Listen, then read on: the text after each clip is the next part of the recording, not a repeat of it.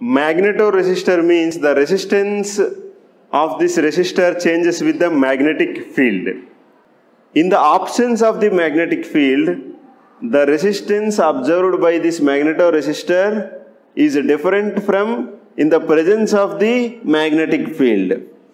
Where we use these resistors? We use in the biosensors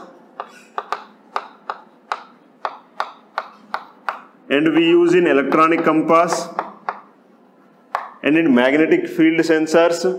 In hard disks also we use this. In hard disks, in hard disks also we use these magnetoresistors.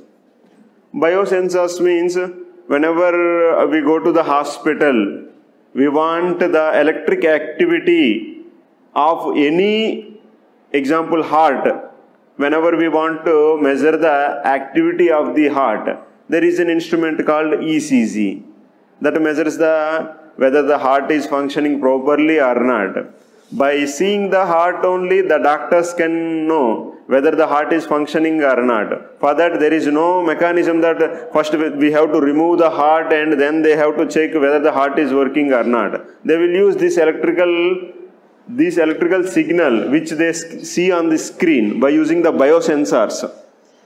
By using the biosensors, whatever the activity of a particular function of the human body that will be converted to equivalent electrical signal. That electrical signal will be seen by them on the screen. Based on this electrical signal only they can tell whether this particular part is working properly or not.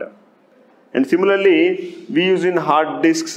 In the hard disks, if you observe, when if you open the hard disk, you can observe there is a part which is rotating so by using this magnetic field principle only, we are able to store the information in the hard disk.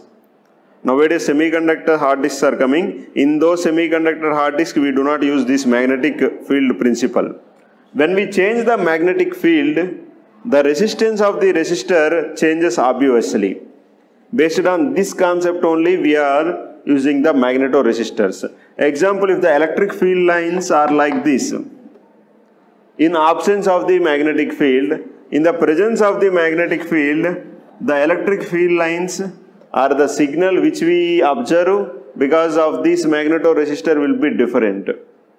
So in the presence of the magnetic field, it is showing some amount of resistance and in the absence of the magnetic field, it is showing some amount of resistance. These two are different.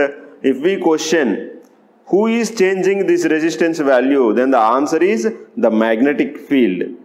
Because with the magnetic field the resistance is changing, we are calling this resistor as magnetoresistor. This magnetoresistive effect was first introduced by a scientist named William Thomson. He discovered that there is a possibility that we can change the resistance value of a resistor by using the magnetic field. If we vary the magnetic field by uh, so, some amount, the equivalent resistance of a resistor can be changed. That was discovered by William Thomson.